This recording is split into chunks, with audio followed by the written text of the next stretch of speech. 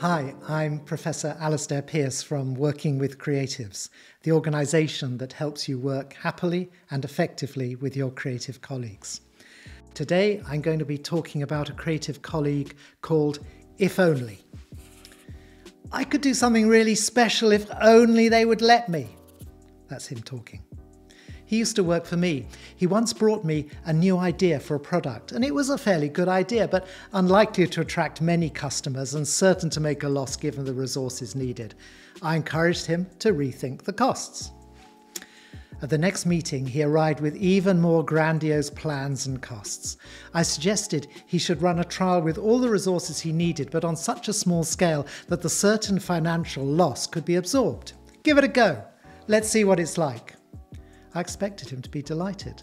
But no, the experiment wasn't worth trying on that scale.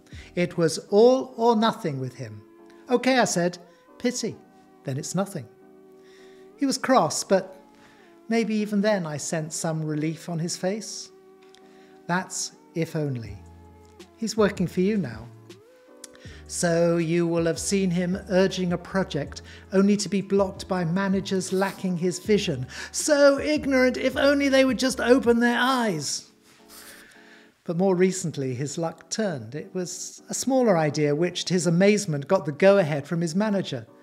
Unfortunately, it's now failed for reasons if only is happy to explain, but which don't seem to include the fact that he has never done much actual work on it. No, He's clearly been let down by others. He says, Such a missed opportunity for the company, it could have been great. And now he's got another great idea.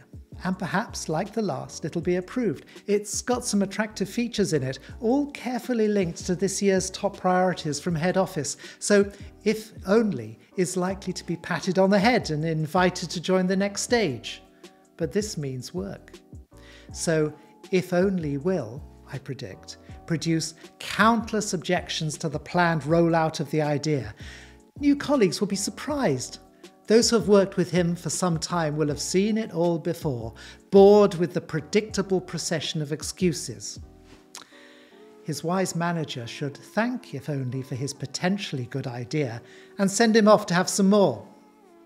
The next stage should be left to colleagues really willing to do some work.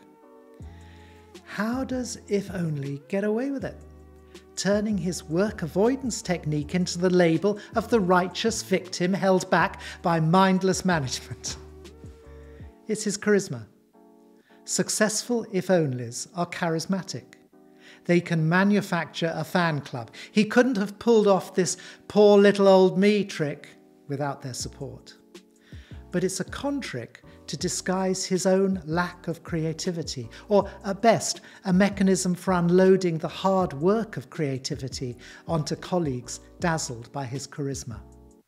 So, my advice for working with a charismatic creative like If Only is to peer skeptically through its dazzle before deciding to become a fan or staying his polite but cautious colleague.